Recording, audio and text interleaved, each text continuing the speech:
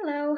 So today I wanted to do a little video about altars and just some different ideas on how you can set it up and um, some different ideas on what you can make an altar for. It doesn't have to be for a specific deity or uh, for a specific god, goddess, or spirit. You can make one in general towards an emotion. You can do a, a, love altar or a gratitude altar or a prosperity altar. They're sort of like crystal grids in that way where you can direct them towards whatever energy you're wanting to bring into your home. I don't see a lot of videos uh, about altars where they talk about them sort of freely. Um, many people, when they talk about altars, it's specifically for one uh, branch of spirituality or one religion, and uh, doesn't really vibe with me, so I wanted to make one for people who maybe feel the way that I feel about altars. Many times if you see online, people post pictures of their altars or videos on how they made them, and it's very, very specific. It's they have a representation of each element of each direction pointing in the right direction with a symbol of uh, the Lord and the Lady, and it's um, color schemed, and it's they use salt to rim it, and I mean it's very involved. It's very it's not it's not very practical in the sense that you can just throw it up and go about your day. You have to dedicate a long time for it. And that's fine if that resonates with you. If it doesn't resonate with you, or if maybe you have lots of traffic in your home, lots of people coming and going all the time, and you have to constantly sage around your altar and it just sort of feels like a chore, then maybe it's not you're not doing it the way that would be best for you. So I'm going to set up a little altar today just so you guys can see it. I'm going to tilt the camera down and it's going to be for uh, for harvest time, for abundance, and for gratitude for the goddess and for all that she's done for us during the year. As this time of year is known as sort of the witch's new year, I'm going to do uh, a gratitude altar. So I'm going to tilt the camera down so you all can see. And I have this cute little uh, Harvest Goddess figurine that I got from a craft fair. I'm going to use her to represent the goddess today. Sometimes I don't really have uh, a figurine to represent the goddess. Sometimes I use um, just crystals to represent a specific goddess. Like um, I did a class on Oya of Africa, and I, um, in my own altar, I just used my little labradorite skull here. So, you know, whatever really works for you. So I have my little figurine I'm going to use, and I'm just going to use a white candle. Uh, I do use color magic in my candles, green for prosperity, red for love, um, orange for energy, but uh, this is going to be just an all-purpose candle, white, I'm going to use. I have a really beautiful crystal ball that I'm going to use because spherical crystals um, the, the reason for using a spherical crystal is because it sends energy out in all directions instead of focusing it on going towards a specific place or focusing on bringing it in. This would just send out the grateful energy all around. And that's what I'm going for. I have a piece of fruit to symbolize the harvest, as well as a couple of seeds, pine cones, things like this uh, to represent the harvest as well.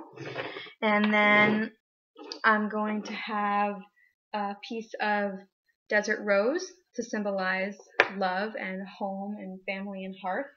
I have a, pe- a little um, piece of a feather that I found at this time last year, and uh, feathers are sort of prevalent in my practice, being that I use um, I sort of augur, which is uh, where you take signs from the universe and you interpret them in your daily life. So when I see a feather, I usually interpret that as meaning that my um, my spirit guides or my guardian angels are nearby and they are wanting to send me a little message of of beauty or protection for the day.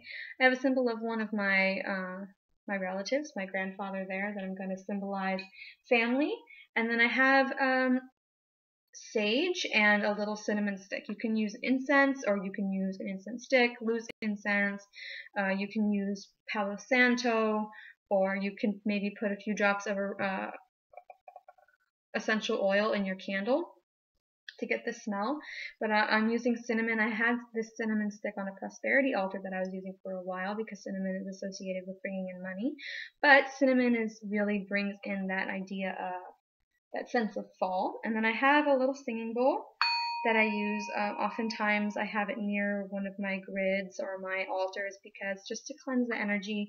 Again, I use sage, but sometimes I use um, sound as well. I have a bell sometimes that I use too. And then I have a, a pretty little lighter that I keep close by to light all of my things when I when I want to keep it going. Now as far as setup is concerned, there's really not one specific way to do it. Many people will do the candle in the center. Some will do the crystal crystals, you know, in the center. Some will do the representation of their deity in the center, where, whether it's a goddess or a crucifix or what, or a nativity scene or, or whatever. So you can do the goddess and a candle here. Let's put the crystal here. I have a piece of fruit. I've got a couple of like seeds kind of at her feet like an offering. Got another crystal here.